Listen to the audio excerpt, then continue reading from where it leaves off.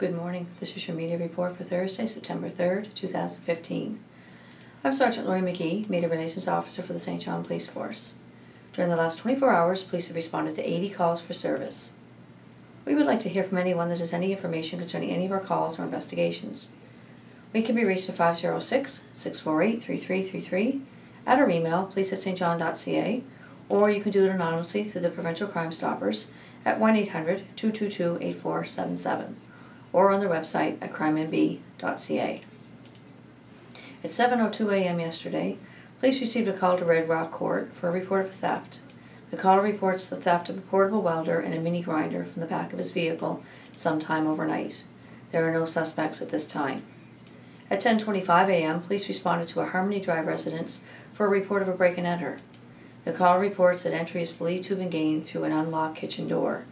Pop and liquor are reported to be missing. The incident remains under investigation. At 11.02 a.m., police assisted the SPCA at a Violet Street residence with the execution of a warrant to enter and seize some cats. The owner was present and the incident remains under investigation. At 2.15 p.m., a 61-year-old female was arrested for impaired driving when police were alerted to a possibly impaired driver heading in the direction of New Brunswick Liquor on Somerset Street. The vehicle was located and stopped in the Superstore parking lot. The female showed signs of impairment and was subsequently arrested. She was later released and will appear in court at a later date. At 2.20 p.m., a 22-year-old male was arrested for an outstanding probation violation file. The accused was released and will appear in court at a later date. At 4.30 p.m., a 37-year-old male ran into traffic at Millidge Avenue and Somerset Street. He was struck by a vehicle and suffered cuts to his head. The incident remains under investigation, with a charge under the Motor Vehicle Act forthcoming to the male. At 4.35 p.m., police were called to an Anglin Drive residence for a report of a resident acting out and threatening staff. A 17-year-old male was arrested for failing to comply with house rules as stipulated in his court order.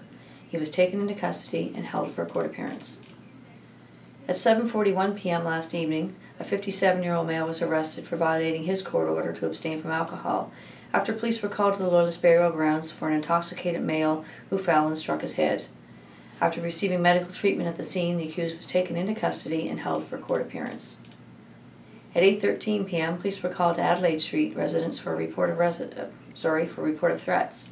The caller reports that a male knocked over his compost bin, and when the caller approached this male, he produced a small knife and threatened the caller. The accused, age 21, was located in the area and arrested for threats as well as possession of a weapon. He was held in custody for a court appearance.